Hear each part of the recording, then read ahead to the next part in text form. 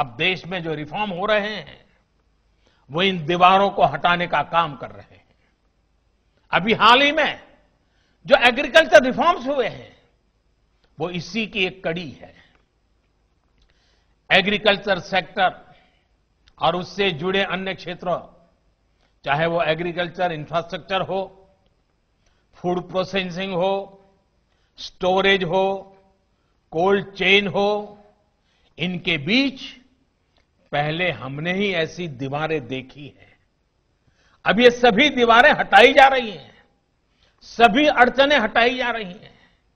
इन दीवारों के हटने के बाद, इन रिफॉर्म्स के बाद किसानों को नए बाज़ार मिलेंगे, नए विकल्प मिलेंगे। उन्हें टेक्नोलॉजी का ज़्यादा लाभ मिलेगा। देश का कोल्ड स्टोरेज इंफ्रास्ट्रक्चर आधुनिक होगा।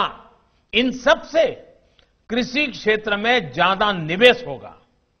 और इन सबका सबसे ज़्यादा फ़ायदा अगर किसी को होने वाला है तो मेरे देश के किसान को होने वाला है, जो छोटे छोटे ज़मीन के टुकड़ों पर ज़िंदगी पालता है, उस किसान का भला होने वाला है।